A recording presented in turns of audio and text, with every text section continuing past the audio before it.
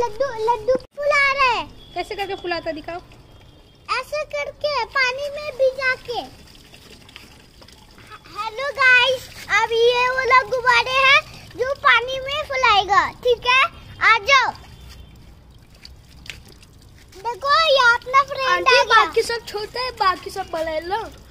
अभी आज चलो चलो अभी अभी गुब्बारे फुलाएगा चलो चलो आ जाओ ओ लड्डू ऐसे करो ऐसे ऐसे ऐसे करो ऐसे ऐसे इससे नहीं होता ए, ए, ये फट गया ये गाइस अब ये वो लोग गुब्बारे हैं जो पापा को बुला के लाओ ना